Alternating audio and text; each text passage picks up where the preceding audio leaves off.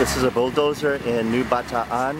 As you could see, the typhoon came in and uh, these rivers swelled.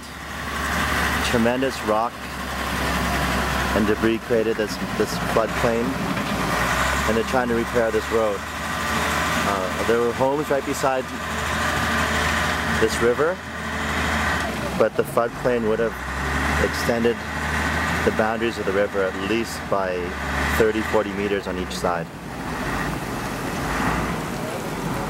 I think some people are trying to cross the road eventually once the bulldozers come out, but it's fairly impossible. You can see the type of, uh, of rock that was moved by this flooding. Just massive.